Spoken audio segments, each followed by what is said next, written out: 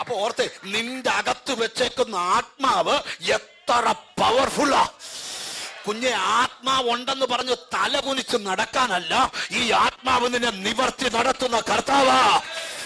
തിരിച്ചറിയുന്നവർക്കായി ദൈവത്തെ സ്തുതിക്കുക. ഞാൻ ഇനി ഒരു കാര്യം കൂടെ പറയാം. പൗലൂസ് പറയുക ദൈവാത്മാവ് നടത്തുന്നവർ ദൈവത്തിന്റെ മക്കളാ. പൗലൂസിനോട് ചോദിച്ച പൗലൂസെ നിനക്ക് എന്തേലും അനുഭവം പറയാനുണ്ടോ? നിനക്ക് എന്തേലും അനുഭവം പറയാനുണ്ടോ പൗലൂസിന്റെ ഒരു അനുഭവമുണ്ട്. നമുക്ക് വായിക്കാം ഒരു നല്ല വാക്യം. അപ്പോസ്തോല പ്രവൃത്തികളുടെ പുസ്തകം പതിനാറാം അധ്യായം കർത്താവിന് സ്തോത്രം. അതിന്റെ മുപ്പത്തിനാലാമത്തെ വാക്യം. ആ മുപ്പത്തിനാലാമത്തെ വാക്യത്തിൽ എഴുതിയിരിക്കുക പിന്നെ അവരെ വീട്ടിൽ കൈക്കൊണ്ടു. അവർക്ക് ഭക്ഷണം കൊടുത്തു. ദൈവത്തിൽ വിശ്വസിച്ചത് കൊണ്ട് അവർ വീടടക്കം ആനന്ദിച്ചു. എന്നത് ദൂത് വെളിപ്പെടാൻ പോവാ. ആത്മാവ് ഇവിടെ നടത്തപ്പെട്ടാൽ ഇതിനകത്തിരിക്കുന്ന ചിലർ വീടടക്കം ആനന്ദിക്കും. ഒരാൾക്കല്ല രണ്ടായിരത്തി പതിനാലിൽ നീ വീടടക്കം ആനന്ദിക്കാനുള്ള വഴി എന്റെ കർത്താവ് ഒരു പോവാ. സത്യത്തിൽ ഞാൻ നിങ്ങളോട് പറയാം പൗലൂസ് എന്റെ ഒരു അനുഭവം നിങ്ങളോട് പറയാം. പൗലൂസിനെ ശീലാസിനെയും കൂടെ പിടിച്ച് ഒരിക്കൽ ആൾക്കാരെല്ലാം കൂടെ കാരാഗ്രഹത്തിലിട്ടു. സ്വോത്രം നമ്മളാണ് എന്നോ ചെയ്യൂ സത്യം പറ. നമ്മൾ അയ്യോ അയ്യോ കാരാഗ്രഹത്തിൽ വീണല്ലോ കർത്താവിനെ വിളിച്ചിട്ട് എനിക്ക് ഇങ്ങനെ വന്നല്ലോ. പറയത്തില്ലേ? നൂറ്റി പത്ത് ശതമാനം പറയും. ഒരു പ്രവാചകനും എന്നോട് ഇത് പ്രവചിച്ചില്ലല്ലോ. അങ്ങനെ പറയും. സാഹചര്യം നോക്കി പൗലോസ് പഴിച്ചില്ല കാരാഗ്രഹത്തിൽ വീണെങ്കിൽ ഇതിനകത്തും ഒരു ആത്മ നടത്തിപ്പോണ്ടെന്ന് അവൻ വിശ്വസിച്ചു ഒരാമയും പറയണം നീ ചില വെട്ടിൽ വീണ് കിടക്കുവാണെങ്കിൽ അതിനകത്ത് കിടന്നുകൊണ്ട് പഴിക്കണ്ട അതിനകത്തൊരു നിയോഗമുണ്ട് എന്നോട് കർത്താവ് പറയാ സ്വർഗം ഈ ദിവസങ്ങൾ ഇടപെടാൻ പോവുക നിന്റെ വിഷയത്തിൽ സ്വർഗം ഇടപെടാൻ പോവുക നിന്റെ വിഷയത്തിൽ സ്വർഗം ഇറങ്ങാൻ പോവുക. ഇന്ന് വരെ പ്രപഞ്ചത്തിൽ നടന്നിട്ടില്ലാത്ത ഒരു വലിയ വിടുതൽ നിനക്ക് വേണ്ടി യേശു തരിക. ഞാൻ ഒരു ദൂത് നിങ്ങളോട് പറഞ്ഞു തുടങ്ങാം. കുഞ്ഞെ രണ്ടായിരത്തി പതിമൂന്ന് പോലല്ല രണ്ടായിരത്തി പതിനാല് സ്വർഗം നിനക്ക് വേണ്ടി കൗൺസിൽ കൂടിയിട്ടുണ്ട്. എന്തിനാന്നറിയാ നീ അകപ്പെട്ട വെട്ടിൽ നിന്ന് കർത്താവ് വിശ്വസിക്കാൻ പറ്റാത്ത ഒരു നന്മയിലേക്ക് നിന്നെ കൊണ്ടുവരാൻ പോവാ ഇനി ഒരു കാര്യം പറയാം. നിനക്ക് നടക്കുന്ന വിടുതൽ നാടറിയും. ഉറപ്പുണ്ട്? ആമീൻ പറഞ്ഞാട്ടോ നിന്നെ നിന്നിച്ചിറക്കി വിടുമെന്ന് വാദിച്ചവരുടെ മുമ്പിൽ നാടറിയുന്ന വിടുതൽ. ജീസസ് ഇതിന് ഇത് നിങ്ങൾ നിയോഗത്തിന് പ്രാർത്ഥിച്ചുകൊണ്ടിരിക്കണം. നിയോഗത്തിന് പ്രാർത്ഥിച്ചുകൊണ്ടിരിക്കണം. കുഞ്ഞെ നിനക്ക് വിടുതൽ തരാൻ ദൈവത്തിന് സമയമായി. നിനക്ക്!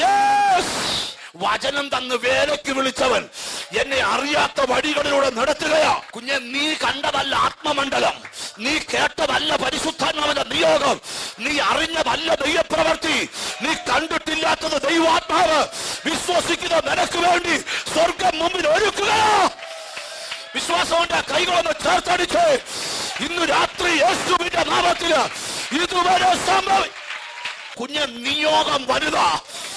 രണ്ടായിരത്തി പതിനാലിൽ നിയോഗം വലുതാ. വിശ്വസിക്കാൻ പറ്റാത്ത ലെവലിൽ നിന്റെ കുടുംബത്തിനകത്തുനിന്ന് ശാപം പൊട്ടി നിന്റെ കുടുംബത്തിനകത്തുനിന്ന് ദോഷം അഴിഞ്ഞ് ഒരു ഭയങ്കര അഭിഷേകം. പൗലൂസിനെ ശീലാസിനെ കാരാഗ്രഹത്തിലാക്കിയപ്പോ അവർ പഴിച്ചോ പഴിച്ചോ അയ്യോ ഞങ്ങൾക്ക് ഇങ്ങനെ വന്നല്ലോ. ബ്രദറെ എന്നോ ചെയ്യും? എന്നൊക്കെ പറഞ്ഞോ? അവരെന്തോ ചെയ്യുന്നറിയോ? അർദ്ധരാത്രി കാര്യാഗ്രഹം പ്രാർത്ഥനാലയമാക്കി മാറ്റി. ഒരു ചോദ്യമാ നീ അകപ്പെട്ട കുരുക്കി കടന്നുകൊണ്ട് നീ പ്രാർത്ഥിക്കാൻ തയ്യാറാണോ?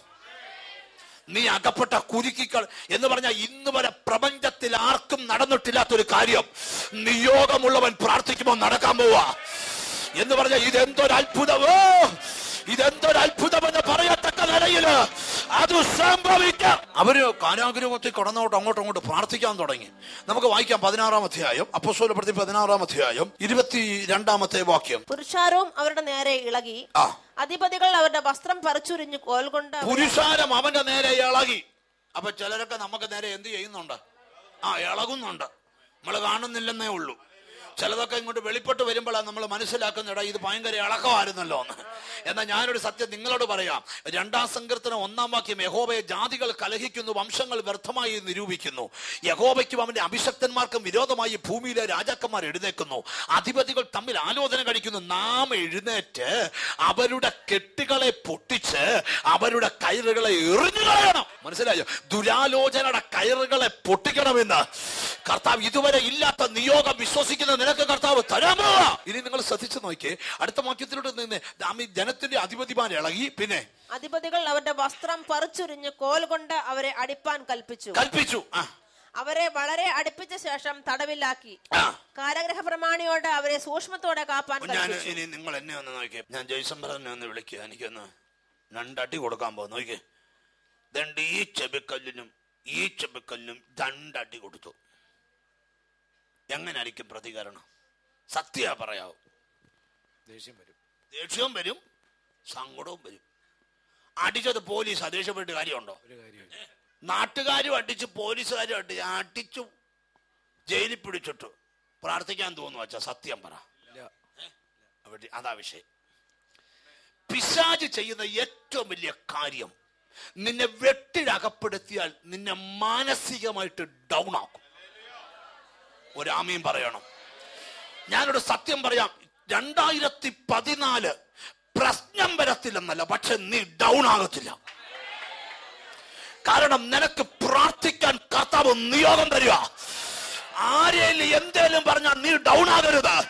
ഇതിനകത്തൊക്കെ ഒരു നിയോഗം വെളിപ്പെടാൻ പോവുക ആ നിയോഗം ഒരു അത്ഭുതം വെളിപ്പെടുത്തിയേ പോകത്തുള്ളൂ. ഓ ജീസസ് ഇത് ഞാൻ പറയാം ദൂതിലേക്ക് വരിക. കർത്താവ് അടുത്ത വാക്യം ശ്രദ്ധിച്ചു നോക്കിയേ ആ. അവൻ ഇങ്ങനെയുള്ള കൽപ്പന കിട്ടുകയാൽ അവരെ അകത്തെ തടവിലാക്കി അവരുടെ കാലാമത്തിലിട്ട് പൂട്ടി. ആ, ഈ അടിയും കൂടാതെ കാലാമത്തിലിട്ട് പൂട്ടി. അടിത്തടത്തോടൊക്കെ പൊട്ടി ചോര വരിക. അപ്പൊ കാലാമത്തിലിട്ട് പൂട്ടി. പിന്നെ അർദ്ധരാത്രിക്ക് പൗലോസും ശീലാസും പ്രാർത്ഥിച്ച് ദൈവത്തെ പാടി സ്തുതിച്ചു. സ്തുതിച്ചു തടവുകാർ ശ്രദ്ധിച്ചു കൊണ്ടിരുന്നു. പെട്ടെന്ന് വലിയൊരു ഭൂകമ്പം ഉണ്ടായി അപ്പൊ ഇത് അടി കിട്ടിയ തളരുന്ന മാർഗമല്ലിത് ഒരു ഹല്ലിയ പറഞ്ഞാട്ടെ നിന്ന കേട്ട നിന്നെ ഒതുക്കാമെന്ന് പറയുന്ന മാർഗമല്ലിത്. അതിനകത്ത് മുട്ടുകുത്തി സ്തോത്രം ചെയ്യാൻ തുടങ്ങി. കുഞ്ഞ് നീ അകപ്പെട്ട സാഹചര്യം എത്ര പ്രതികൂലമായാലും നീ അവിടെ പ്രാർത്ഥിക്കാൻ ആരംഭിച്ചാൽ നിന്റെ പ്രശ്നത്തെ കർത്താവ് തൊടുക.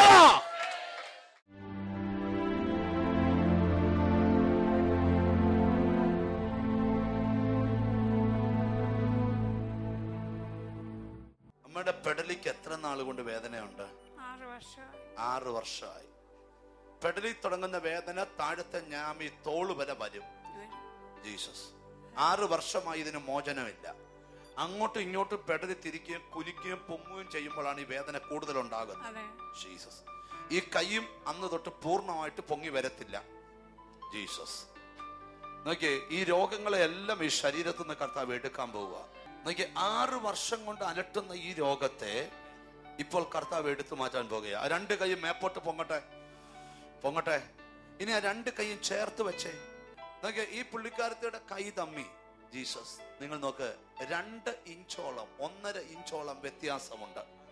അതാണ് ഈ പുള്ളിക്കാരത്തിന്റെ പ്രശ്നം. പുള്ളിക്കാരത്തി തന്നെ കൈ കൊണ്ട് വെച്ചതാണ് ശ്രദ്ധിക്കണം.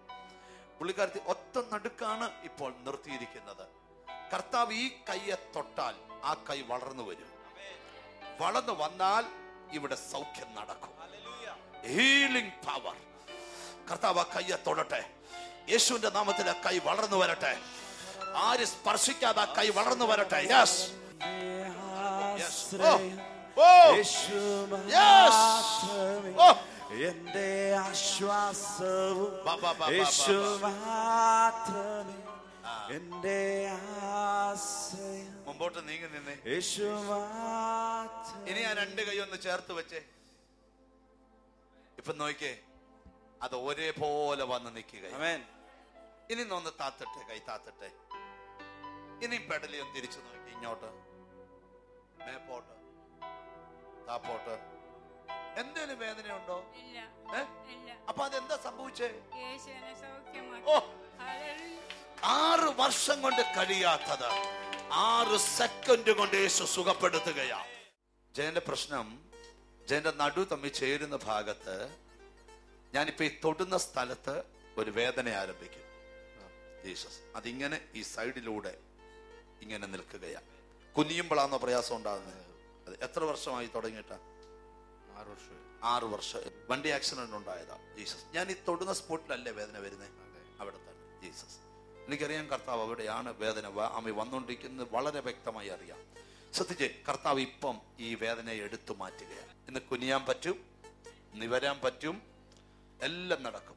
ഒരു മിനിറ്റ് ഞാൻ പ്രാർത്ഥിക്കും. ദ ബ്ലഡ് ഓഫ് ജീസസ് കർത്താവിന്റെ ശക്തി ശരീരത്തിലേക്ക് വരട്ടെ.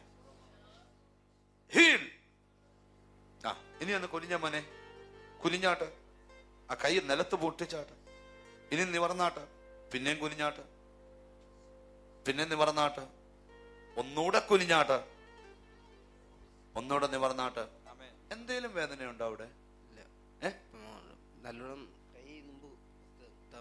കുത്താൻ പറ്റത്തില്ലായിരുന്നു. ആറ് വർഷമായിട്ട് കുത്താൻ പറ്റത്തില്ലായിരുന്നു. നോക്കി ആറ് വർഷം കൊണ്ട് നടുവിന് വേദനയാൽ കുനിയാൻ പറ്റാത്തവനെ കർത്താവ് തൊട്ട സുഖപ്പെടുത്തുക. ഈ യേശു ഇന്നും പ്രവർത്തിക്കുന്ന ദൈവം അത്രേ.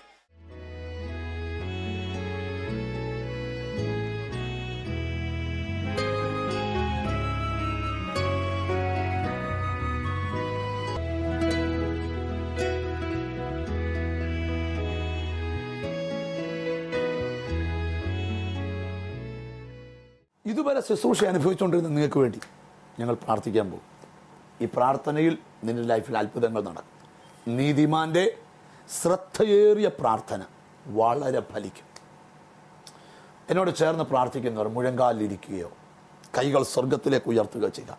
കർത്താവെ സ്വർഗസ്ഥ പിതാവേ യേശുവിന്റെ നാമത്തിൽ ഈ ജനത്തിനു വേണ്ടി ഞാൻ പ്രാർത്ഥിക്കുക യേശുവിന്റെ കരം ഇവരെ സ്പർശിക്കണം.